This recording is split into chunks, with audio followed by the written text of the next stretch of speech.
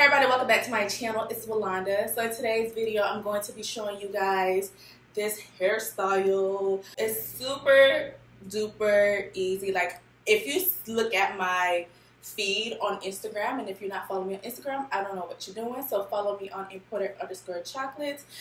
I do a lot of twists one, because it's hard for me to do braids on my own hair. And two, it's just quicker for me to do twists. But throughout the years, I realized twist is really hard to stay in my hair. So I went ahead and tried the rubber band method for these twists. This is my first time doing it. I normally just do freehand without the rubber band help, but I actually really, really like this rubber band method because your girl could go to the gym and it don't slip out anymore. I'm actually thinking about going back to yarn twist. I haven't done that in a minute and I do have a very old yarn twist tutorial but if y'all want me to do an updated one definitely let me know if you want to see a tutorial on that. So with that being said stay tuned to see how I achieve this hairstyle.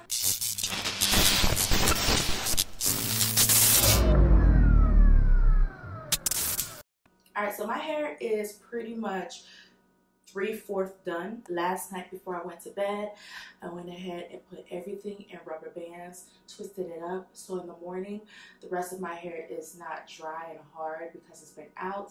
And it just makes it an easier process for me when I um, start doing the rest of the head today. If you guys want to see me actually do um, this part, I will go ahead and do one for you. It's super easy. I just put rubber band in and twist it down. But you know, some people wants to see the entire process, so I'm gonna go ahead and just undo one. What I can say is my hair is super, super moisturized. So you need to make sure you know exactly how to moisturize your hair for a protective hairstyle. Oh my goodness, my hair feels so soft, y'all. What did I even put for it to feel like Um, my moisture process right now is on point. Alright, so I have a hard time with like bringing the hair together, like gripping the hair.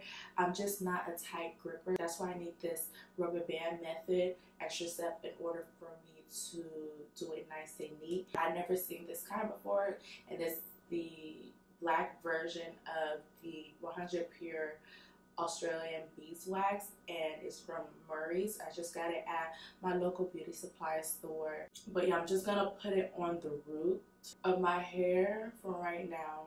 I get my rubber band. Oh, let me make y'all come closer. When it comes to my parting and me doing my own hair, I don't care if it's neat at all. It has to be like semi-straight, but it does not have to be perfectly neat, symmetrical. I don't care, I don't care. So I'm just going to rubber band around that section and then I'm going to start twisting it down. I use a little beeswax throughout and towards the end it is good for your actual hair to keep it intact. So, I mean, this is not bad. And I basically just do that all over. So the hair that I use, I've used this hair before in when I did my full locks. So if you haven't seen that video yet, go ahead and check it out. I'll leave it linked down below or in the video. And it is the, how, is it this one or is it not? It feels like the same one. It has the same luxury and texture of it. I don't know. So I used the Femi Collection 80 inch Senegalese twist braids and it's 100% collector I am not cutting the hair at all. The hair is going to stay 80 inch. I did not cut it at all.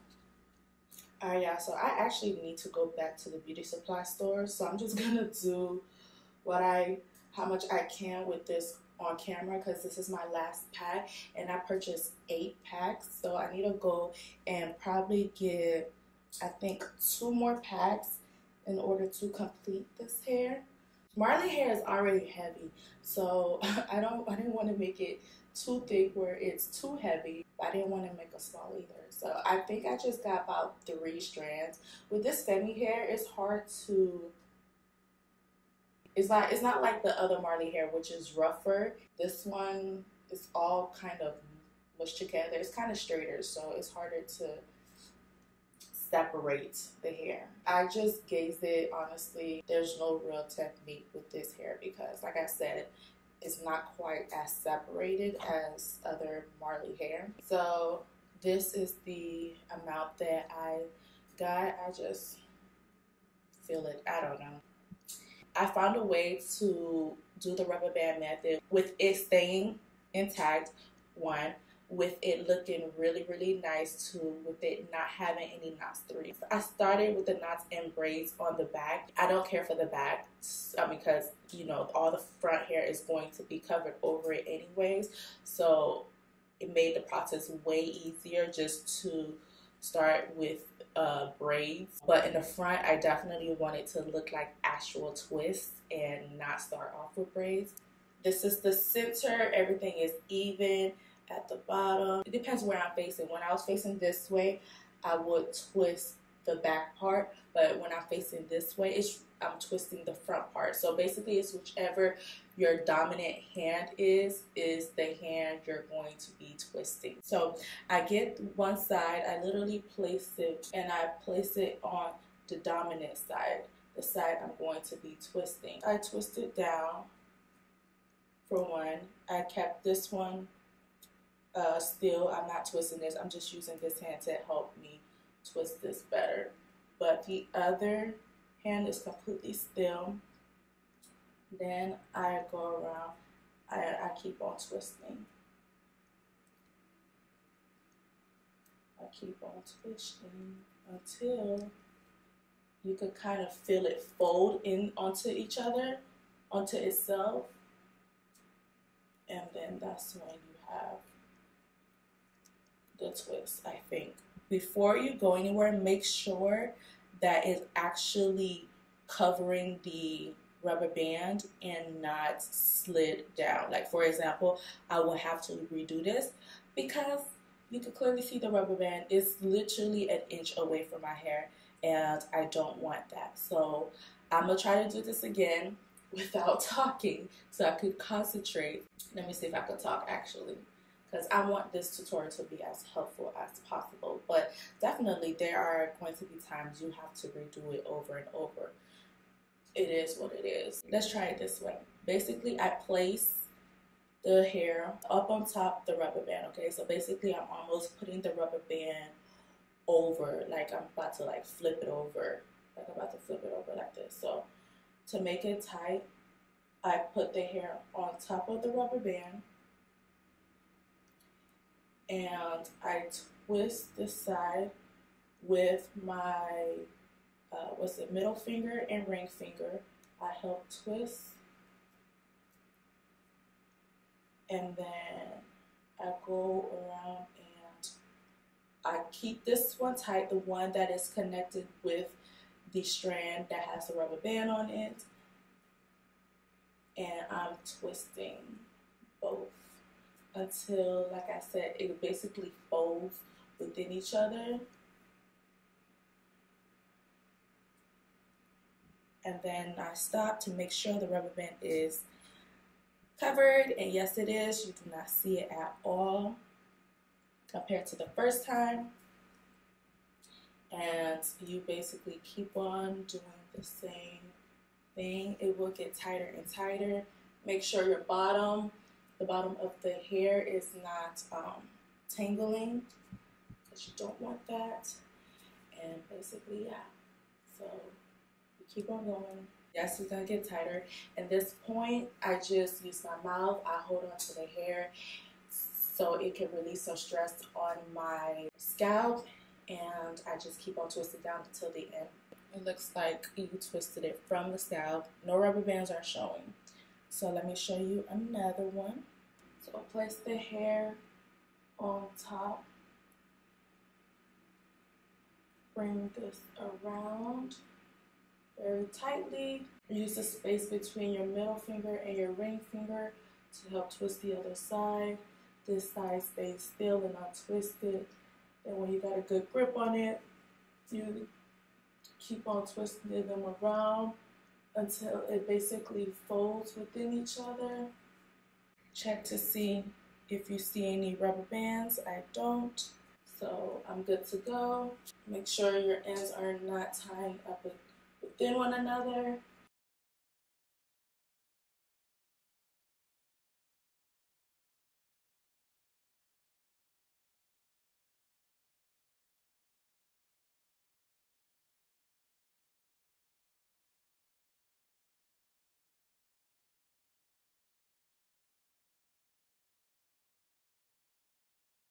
All right, so it is currently 11 past 10 a.m. and right now the store should be open. I am going to run to the beauty supply store, get two more packs of hair. That should be enough. Yeah, two more packs of hair to finish up. I'll finish off camera and I will come back on to show you the final results.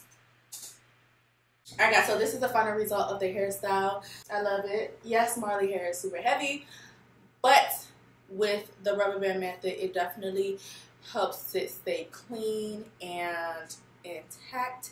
So all I have to do is, you know, do my little edges when I step out the door and I'll be set.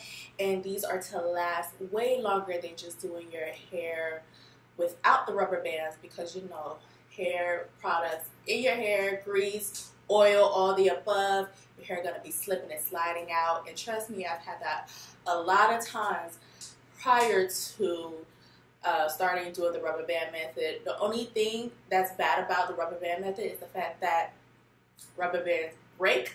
So sometimes if your hair is in this style for way too long and your rubber band is starting to lose that elasticity, it'll break on you. But other than that, you're fine. I love it. Finally, you look like somebody because your girls were looking like who daddy. I could not. I hope you guys learned something. I hope this technique was very, very simple. Go ahead and like this video if you think it was very, very helpful. And if you like these type of content, don't forget to subscribe to this channel and follow me on Instagram at imported underscore chocolate. With that being said, I will see you guys in the next video. Bye.